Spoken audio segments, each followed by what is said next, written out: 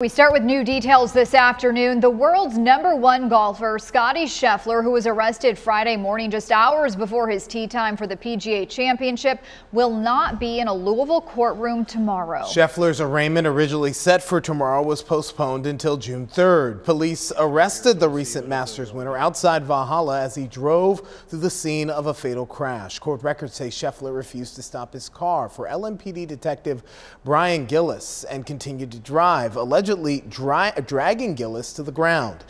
Scheffler's attorney says those allegations are false and that he'd been waved through by a different officer at the scene. After getting out of jail on Friday, Scheffler said it was all a misunderstanding. The mayor says the officer did not activate his body camera during the initial incident. That appears to be a conflict with city policy.